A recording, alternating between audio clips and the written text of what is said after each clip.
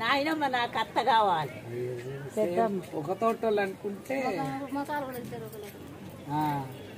ఆమె వంగి ఉంటుంది. అంటే ఆమె పెద్ద మనిషి అయిపోయి వంగి. ఎన్నేళ్ళు ఉంటుండొచ్చు మా నాయనమ్మ? వంద ఏళ్ళు దాటింది అంటాం. ఉండొచ్చు ఆఖరి మంచిగా తోలింది అది మంచిగా పోయింది. మంచిగానే పోయి రేపు మనం ఎట్లా పోతామో మంచిగానే సానవు నీకు మంచిగా ముచ్చిపాల అవుతుంది నాయన. మీ నాయనమ్మని అంత మంచిగా దాదినవు నీకు మంచిగా ముచ్చిపాల అవుతుంది నిన్ను దాకలేదు నీకు మనం. అనాథాశ్రమం పెడదామనుకుంటున్నా. నీ నీకేమైనా పైసలు పడుతున్నాయి. తింటారా?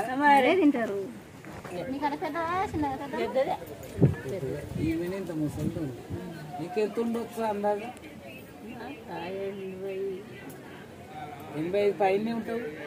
ఉండనే కానీ అప్పుడు వాళ్ళు రాసి పెట్టేసుకోక అప్పుడు వాళ్ళు రాయలేదు ఇప్పటి వాళ్ళు? అందరికీ నమస్తే అండి. ఇప్పుడు చూస్తున్న పెద్ద ఆవిడ మా నాయనమ్మకి మేనకోడలు.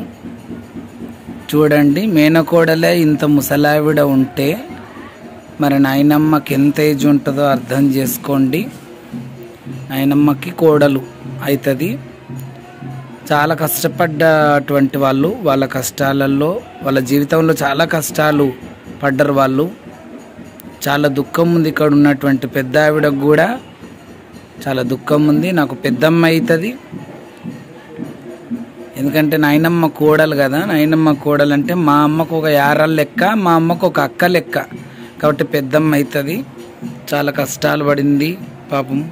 నేను మొన్ననే ఒక మన్మరాల్ని పోడగొట్టుకుంది. గర్భవతి అయినటువంటి మన్మరాలకు సంతానంగా అంగనే ఆమె చనిపోవడం చాలా దుఃఖంలో ఉంది. ఆమెనే కాదు ప్రతి ఒక్కరు మనం దుఃఖంలోనే ఉంటాం. ప్రతి ఒక్కరి ఇంటికి చుట్టమే మృత్యువు. అది ఒక కొందరు ఇంటికి ఉంది కొందరు ఇంటికి లేదని కాదు. ఇవాళ ఒకరింట రేపు ఇంకో ఇంట్లో రేపు ఇంకో ఇంట్లో అలా మృత్యు వెళ్తూనే ఉంటుంది. ఎవరిని ఎప్పుడు తీసుకపోతుందో తెలియదు కానీ ఉన్నప్పుడే ప్రేమ భావనతో ఉండాలి ఇదే అంగడిపేట విలేజ్లో మా యొక్క గౌన్లవారి కులదేవుడైన కాటమయ్య బోనాలు చేసినాం.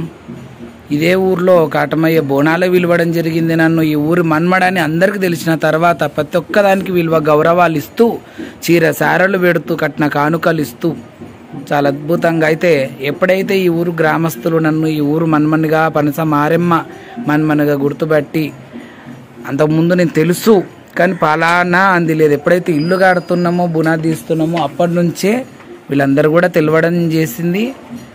మొదటి బోనం మొదటి బోనం కాటమయ్యది కుల కులస్తుల బోనం ఏదైతుందో దానికి నేను ఉచితంగా నా ప్రేమ భావనకు వెళ్ళ వెళ్ళడం జరిగింది. తర్వాత కొమరవెల్లి మల్లికార్జున స్వామి రెండు వందల సంవత్సరాల పురాతనమైన దేవాలయానికి కాస్త కట్న కానుకలు తీసుకుని వెళ్ళినాం. ఇప్పుడు బొడ్రాయి పూజ ఊరు మొత్తం బొడ్రాయి కాబట్టి చందాలేసి చేస్తున్నారు కాబట్టి బొడ్రాయి పూజ కూడా కట్న కానుకలు ఆశించే రావడం జరిగింది.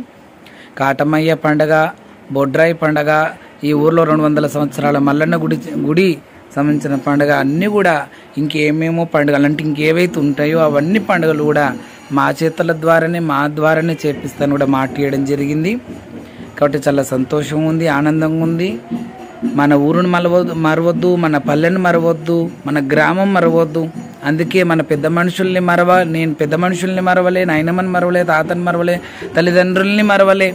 అందుకే నాయనమ్మ ఆ ఆ నాయనమ్మకు సంబంధించిన స్థలంలో ఆమె సంసారం చేసినటువంటి స్థలంలో నాకొక్క ఇంత గూడు ఉంటే బాగుండు అని నాయనమ్మ అడగడం గూడు నిర్మాణించి నాయనమ్మ కోరిక నెరవేర్చడం చాలా ఆనందంగా ఉంది. వంద సంవత్సరాల ముసలావిడకు నేను వినలేని కోరికలు నెరవేర్చి ఆ కైలాసంకు శంకరుడు రమ్మనడం నాయనమ్మ వెళ్ళిపోవడం అదంతా మీకు తెలిసిన సంగతే. నాయనమ్మని ఎలా చూసుకున్నా కూడా మీకు అందరికీ తెలుసు.